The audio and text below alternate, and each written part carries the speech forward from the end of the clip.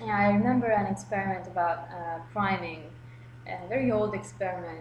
Uh, it was called, uh, it had a, a, very funny name, something like How to Win a Trivial Pursuit Game. Uh, they had uh, these two groups of uh, young people, and they would flash the image of Albert Einstein to one group, and with the image of a group of hippies to another, to the other experimental group, That's and right. then they would make them play Trivial Pursuit. And so they, they found out that the, the results were significantly higher for the people who saw Einstein, which was That's kind of cool, actually. I really love that. Um, That's right. And it's not the case that those people would go and buy an Einstein poster, yeah, right? exactly. So, so the, the, the, the way that it, it's, it activates an idea, it's not necessarily activating a particular uh, purchase uh, intention. So, so it works. It works quite differently. And by the way, some companies are getting back to it now in, in a small way. really? What, what way? So, for example, there's companies who are thinking about the sequences of ads, Oh, yeah. right? Because if you think about it, you can say ads are separate, and every time you start a new ad, your brain starts from something empty. Well, that's not the case. Priming tells you that whatever you had a thought from before stays with you for a little longer and colors what, what you're going to see next. How are you going to think about ads in a similar way? When you understand that the ad that came before you could either make your ad look better or worse, more appealing, less appealing, and so on. Yeah, there were. Uh, there was another uh, very nice experiment about uh, creative work and the sense of guilt in cognitive dissonance. Actually, and they, they really implemented that in ads. They they put uh, uh, an ad that implicated something creative, and then they uh, sent the uh, the ad for you know fundraising for I Yes. don't know eh, something. So that kind of actually worked. I think, at least here in Italy. Um, uh, I think that's very interesting, actually. You know, uh, cross-cultural research and um, transcultural results are fascinating, in my opinion. You know, uh, there are so many differences, like very small differences, in how people in Europe see things and how people in America see things, and I can't even imagine how big the differences are for Asia. But you know, there's one example that I found interesting. Uh, Starbucks again. You know, they um, have a very nice design team, which studies exactly the architectural structure and style of uh, the country they're going to open a new store in.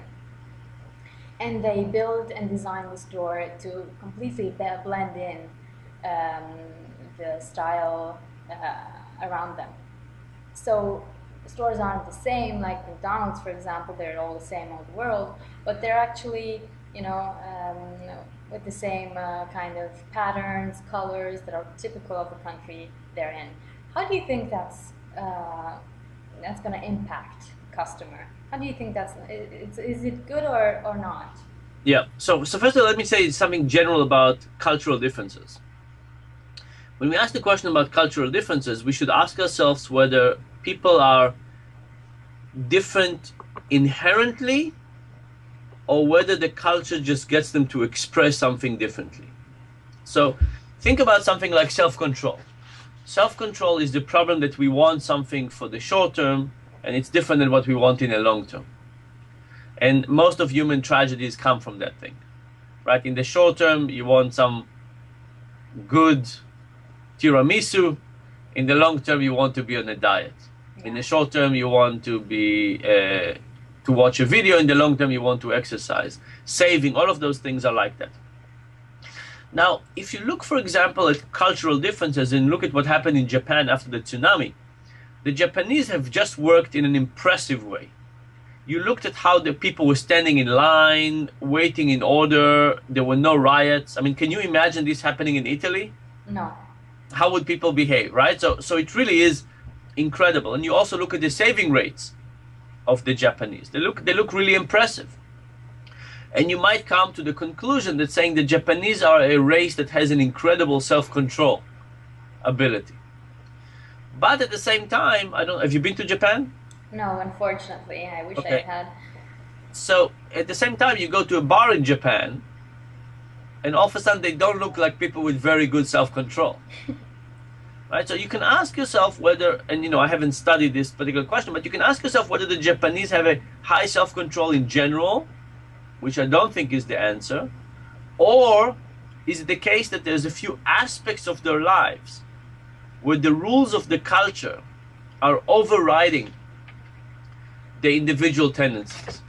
And my my personal belief is that people are basically very very similar at the core. You know, our genetic structure, our brain structure is just incredibly, incredibly, incredibly similar. The variance is very large. But what culture does is culture is like a veneer that sits on top of our personality and gets us to express our individuality differently. So we're all the same and culture gets this the sameness to be expressed in different way we stand in line we don't stand in line we use more hand motions when we talk we use less hand motions when we talk now in terms of your questions about starbucks i think this is a slightly different question which is the question of comfort and this is the question of over time when we get used to a certain cues and you get used to a certain level of aesthetics uh, do you acquire aesthetics through culture and through experience? And I think the answer is definitely yes. and you can, of course, just look at art and look at over in uh, in art over the years how what is aesthetic has changed over the years. so some things have never changed. Uh, big eyes have always been beautiful. Uh, symmetry, uh, no blemishes. I mean, there's some biological things about beauty, about human beauty, that have always remained the same in terms of what we appreciate. Other things have changed. We used to worship the man's body, now we worship women's bodies. And we used to uh, worship people who are a little chubbier, now we worship people who are uh, very, very skinny. So, so those there's some basic things that are biological about reproduction and then there's some other things that are more cultural. So, in terms of the Starbucks perspective, I think they do need to understand what is aesthetics in that culture.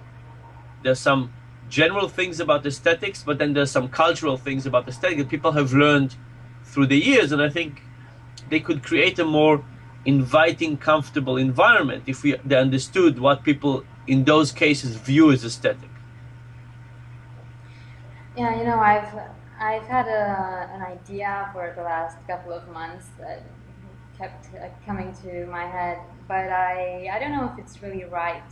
You know, uh, I was thinking that um, the similarities, the way we are all similar, so those aspects that are being studied by uh, neuroscientists, to be clear, and the ones that are on top, like the cultural layer you were talking about. You know, I, I was, I don't know why, but it, in my head they were uh, very similar to the differences in the Cloninger model. You know, the temperament, temperament and character differences. So uh, the, the aspects of temperament that are equal for all of us, you know, that are um, inherently ours, and the character which actually builds upon the temperament. I don't know if that's really right, actually. What do yeah. you think? so, you know, I think that uh, if you think about human beings, we are attuned to seeing differences. Right? Think about it. You you have a brain that wants to notice dissimilarity between people rather than similarities. If you notice similarities, you wouldn't be very useful. Right? So I remember the first time I went to China, I thought all the Chinese looked the same. I you know, I could differentiate very, very few Chinese. And I traveled with a friend who has curly hair and he has brown eyes, I had blue eyes. We we looked very different, but we would show each other's passports. And they they would have no clue in hotels. They would look at the passport, they would look at him, and they would have no idea that we switched the the issues. And the fact is that you know uh, I think that's that's kind of true of the world. Like the true approach of viewing Westerners were the, these Chinese people. This was before China was open. That they could not determine the differences. If, if somebody came from outer space and they looked at us, I assure you they would not know the differences.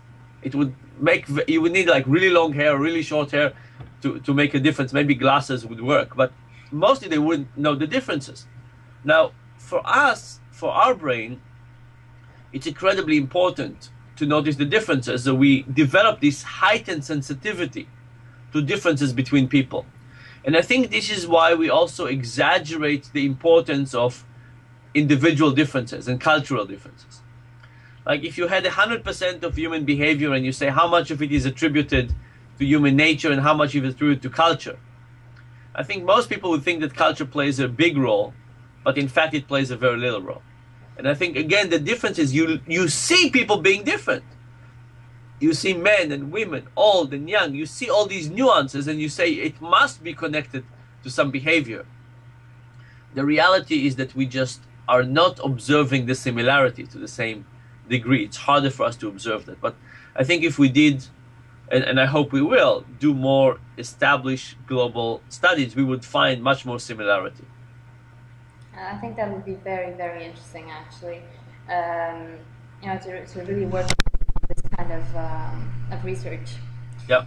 Um, so I have another question, um, which is the following: What do you think is the factor that brings a lot of people, many, very many people, to try anything um, companies like uh, Apple offer? anytime Apple, for example, has a new product, whatever it is, there are so many people who are uh, uh, who are going to buy it, and um, not not even not even thinking if they're going to need it actually. So, what do you think is is the factor that brings people to do that?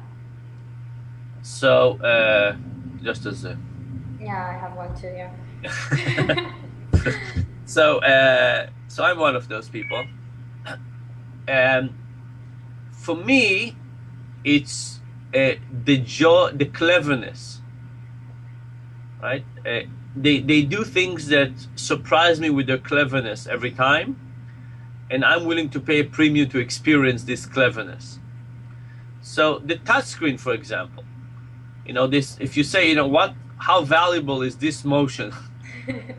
and how valuable is this motion, right? It doesn't seem like you're inherently very useful thing that I would pay hundreds of dollars for this ability to do that. But the truth is, it's really quite fun when you when you do it. Uh, for me, the, the, the biggest toy uh, I own is a Segway, and okay. every time I get on my Segway, I am I marvel by Dean Kamen's genius. You know, I, I also have one of these balancing board when you stand on it and you try to balance yourself. And when you do it, you realize how difficult it is to balance yourself. But all of a sudden, there's a computer there, a set of computers that is balancing me without me doing the job. And it's and then you just lean forward, you go forward, you lean backward, you go backward. It really kind of feels like somebody have thought very carefully about what's natural for human beings, and it's really kind of delightful. Uh, so so I I marvel with the thinking that goes into it. I say somebody has thought about this particular question very hard and they came out with something that looks like it's incredibly intuitive and that's exactly the way I would expect it to happen. And you know, again, we can link it to the cross-cultural differences. It's amazing, right? They come up with an interface that works for people in, in every place, right? It's not that it's just Italian or just American or just Japanese.